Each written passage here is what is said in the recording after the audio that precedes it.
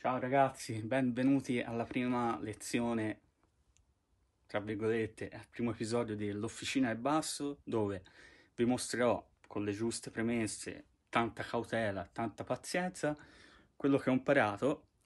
eh, con gli anni, e da quando sono ragazzino che smonto, mi piace già di mio smontare e rimontare le cose, quindi da quando ho 14 anni che rompo passi, ordino pezzi, assemblo, mi diverto quindi nel corso degli anni appunto ho fatto un po' di esperienza, sbagliando si impara, e volevo mostrarvi come poter fare tante cosette senza per forza ricorrere a spese enormi, quindi l'usaio eh, e, e, attrezzi costosi e, e, via dicendo. Quindi con piccole, piccoli oggettini che si trovano nel fare da te tranquillamente, senza spendere un granché vi mostrerò l'assemblaggio di uno strumento partendo da zero e poi vediamo piano piano come evolve e finiremo con la parte elettronica, quindi come sostituire o montare o riparare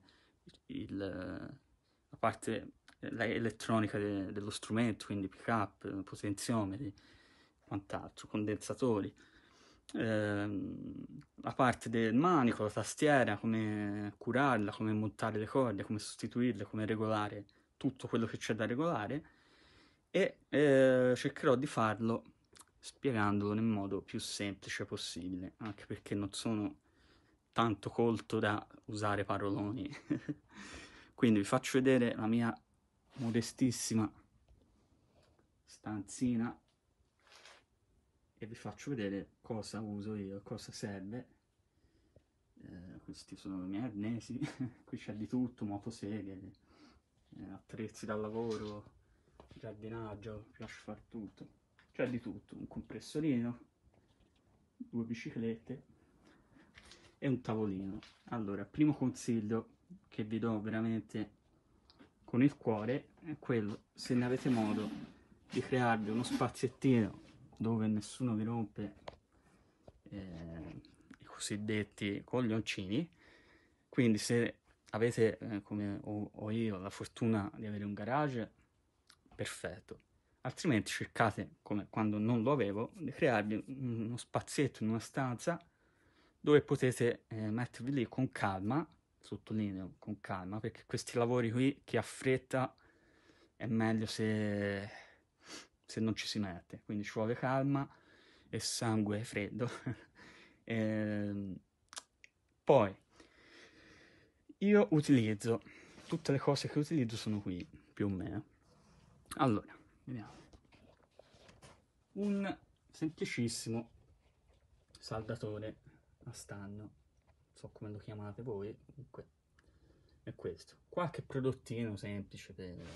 la pulizia, dello strumento ci sono di tutti i tipi questa roba di mille anni fa comunque fa sempre comodo. Eh, poi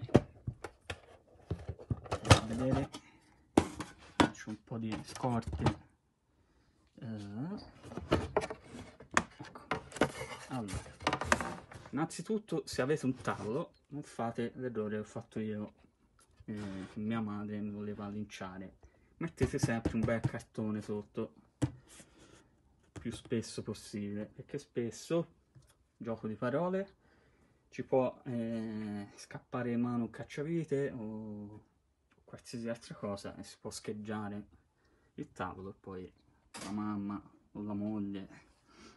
ci, ci mandano fuori di casa. Poi qui dentro abbiamo un uh, reattiva contatti, ma questo è tutto per la parte elettronica, un martellino eh, diciamo di, di, gomma, molto utile, procuratevi un, um, più brugole possibili perché i truss rod e soprattutto le regolazioni de, del ponte eh, hanno fatte sfortunatamente con mille misure diverse, quindi ogni ponte più o meno ha una chiave, una misura delle brugoline diversa. C'è altra pulizia, po' di nastri vari, forbici da, diciamo, da, da elettricista, cacciavite, calibri, eh, questi come si chiamano? I, gli spessori per, per misurare distanze varie, eccetera. Nastro isolante, ovviamente, un metro, uno spazzolino.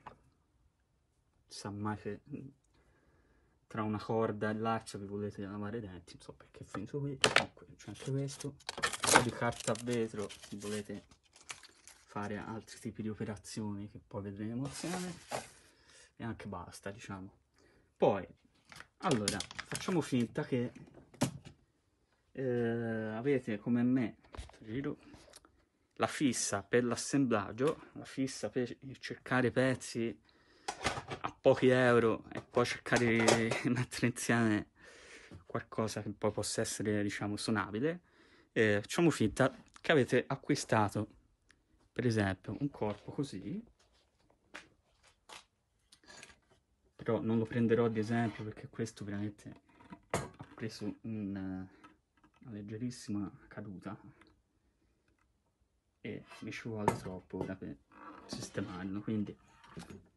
in genere quando comprate eh, roba molto molto economica, che non è detto che non sia di qualità, che poi dipende dal legno, eh, può capitare che vi arrivi magari con misure eh, non, diciamo non classiche, quindi dovete fare un po' di eh, alesaggi, diciamo così, di, vi dovete reinventare un po' per rimetterlo a misura, che qui ci va ovviamente il manico può capitare anche questo, oppure che le misure dei, fori non tornino, ma vedremo tutto insieme dopo. Ecco, facciamo conto che avete comprato questo bellissimo corpo, che non si direbbe ma è originale della Fender, pazzesco, e lo avete pagato come me tipo 30 euro. Qualcuno magari non sa nemmeno cos'è, ve lo danno così purtroppo, quindi la prima cosa da fare sarà finirlo di cartare, stuccare nelle parti rotte, perché questo probabilmente è stato preso a sassate, però è un Fender originale, credo messicano, ma a noi ora poco ci importa. Eh, un manico, in questo caso nuovo, cioè nuovo nel senso che si fa finta che sia nuovo, vedete, ve lo danno in genere in questo modo qui, ovvero con spesso con le meccaniche già al loro posto, altrimenti le togliamo, cioè le tolgo e poi vi faccio vedere come che possibili eh, problemi si possono trovare quando si ordinano separatamente da, dal manico, quindi che non tornino i fori, che manchi qualche pezzo, eccetera, eccetera. Eh, di solito vi danno una placchetta e le viti del.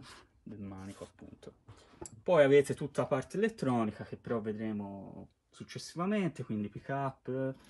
ehm, collegamenti, cavi, cavetti, circuito diciamo, il, il, ponte, le manopole dei potenziometri, i potenziometri, condensatore, eh, tutto. Diciamo vi siete procurati tutti, volete partire da zero. Quindi io vi mostrerò, ripeto, nella mia semplicità tanta tanta semplicità nella vita e leggerezza, vi mostrerò come eh, divertirvi, soprattutto questo, quindi io parlo di roba non costosa e non mi permetto, eh, non voglio indurvi in, tentazioni di, di lavorare su, su, su, su, oggetti costosi, eh, a meno che voi non abbiate già una discreta manualità, quindi non avrete bisogno della mia guida, ma altrimenti vi consiglio di eh, o avere già, cioè vi consiglio, o, o, avete già roba economica col quale sperimentare o comunque che volete assemblare o ordinare su internet, tanto si trova di tutto, eh, se mai vi aiuto io mi iscrivete, eh, cose eh, economiche oppure cose come ho trovato io distrutte da rimettere su, tanto si vedrà tutto insieme. Quindi ragazzi, allora, se, se avete critiche,